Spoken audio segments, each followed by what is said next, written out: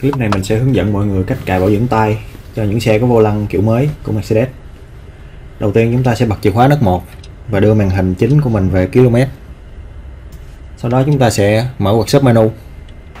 Thì cách mở workshop menu mình làm như sau Ấn giữ nút return Màn hình vừa thay đổi là mình ấn cái nút đen là cái nút ok liền Trên màn hình mới, cụ thể là cái màn hình GLB này á Thì nó sẽ hiện cái giao diện workshop menu như thế này nè rồi, sau khi mở được workshop menu này, chúng ta sẽ chọn Accept Plus. Rồi, trong phần Accept Plus này, nó sẽ yêu cầu mình bật lên chìa khóa nấc 2. Rồi, chọn vào bảo dưỡng toàn bộ. Xác nhận được, đã bảo dưỡng. Rồi, tiếp theo sẽ chọn chất lượng dầu. Ở đây mình chọn 229.51. Chọn có và xác nhận. Rồi bây giờ đợi nó thực hiện quy trình bảo dưỡng, nó sẽ tự reset cái cây số bảo dưỡng lại cho mình. Chúng ta tiến hành tắt chìa khóa và kiểm tra lại.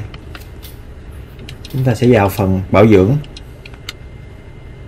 và phần Accept Plus rồi ở đây nó hiện bảo dưỡng B sau 365 ngày là mình đã cài bảo dưỡng bằng tay thành công. Cảm ơn mọi người đã theo dõi video.